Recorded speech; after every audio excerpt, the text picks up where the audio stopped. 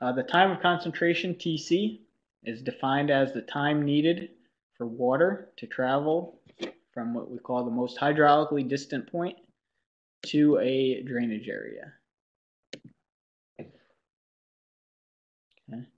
From the most hydraulically distant point, hydraulically most distant, not necessarily um, physically most distant. TC, time of concentration, we're talking about. Uh, the phrase hydraulically most distant point is important because it means the longest path in terms of time. Okay. Um, not frequently seen, but uh, TC is equal to the length of the flow path divided by the flow velocity. Um, the PE, not frequently seen in real life, but the PE exam likes this uh, because it's an easy calculation, L over V. It gives you the TC, or they'll just give you the TC. There are various methods. Um, in the morning exam, I don't think you'll see it. We, we use this uh, NRCS method of T sheet plus T shallow plus T channel.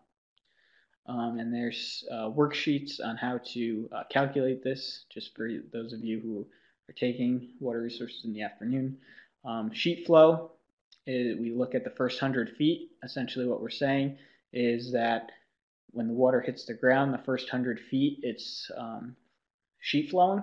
It's not all together yet. And by once it hits the end of that first 100 feet, it starts to, um, uh, a bunch of droplets of water start to come together. And we call, which we call shallow concentrated flow. Okay. The water's all together, um, maybe flowing along a gutter line or through the woods, right?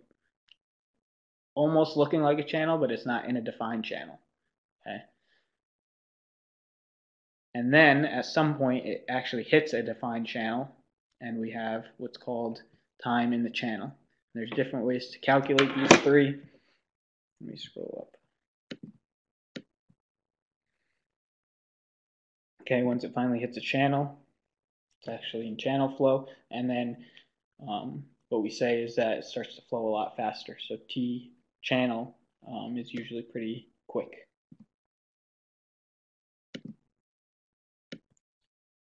Uh, conceptually, I don't love this phrase, longer flow length means longer TC.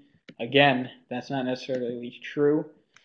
Um, so just put like a little asterisk or something next to that. Um, if you have a uh, T, T channel could be thousands of feet. You could have thousands of feet um, in a channel, but the water starting at the beginning of the channel to the end, um, the time it takes uh, could be pretty quick, even though it's thousands of feet.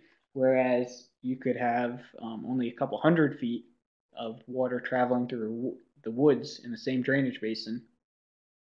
And traveling through the woods, it has to meander around trees and brush, and it's it takes a lot longer to get to your design point.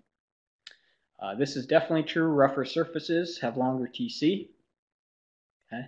If you have water on pavement versus water on heavy brush, um, the water on pavement is going to move a lot quicker, so you'll have a shorter TC. And flatter surfaces slash channels have a longer TC. If it's steeper, the water is going to get to your design point faster. A shorter TC results in higher rainfall intensity for a given design storm. As engineers, we don't like short TCs, we like long TCs.